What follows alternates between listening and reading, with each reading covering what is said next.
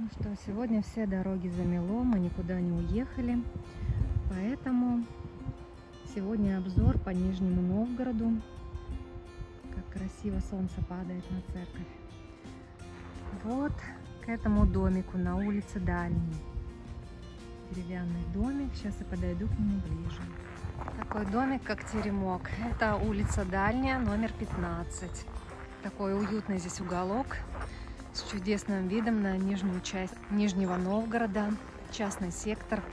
А, улица Дальняя выходит на набережную река Ака, где можно прогуляться и увидеть наш город. Вот прямо еще.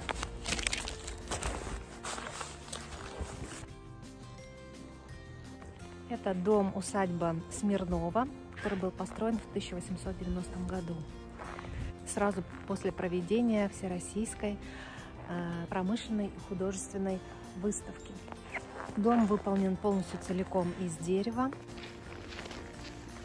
с резьбой, похожей своими орнаментами на вышивку или кружево.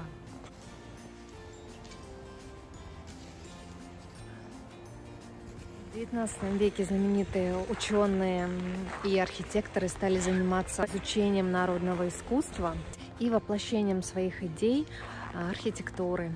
Гартман и Рапет, создававшие свои произведения в дереве. Многие дома уже не сохранились. Вот. Э, есть вот этот домик на дальней 15. Оставшийся домик в стиле псевдорусский представляет собой уникальное отображение стиля Рапета. Он украшен башнями, резными карнизами и наличниками. В советское время здесь размещался детский сад и школа фехтования. При реставрации в 2017 году дом разрушился, его стали реставрировать, но было очень много нарушений в процессе реставрации. Так что получается, что это полностью построенный новый дом, э, называют его новодел, э, под под старину защитой государства.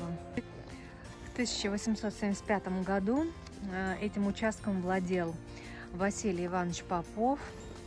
Э, вот. И сначала на территории располагался одноэтажный дом с флигелем, а в 1897 перешло во владение Дуловой и Бочкаревой, а затем уже владельцем стал Смирнов.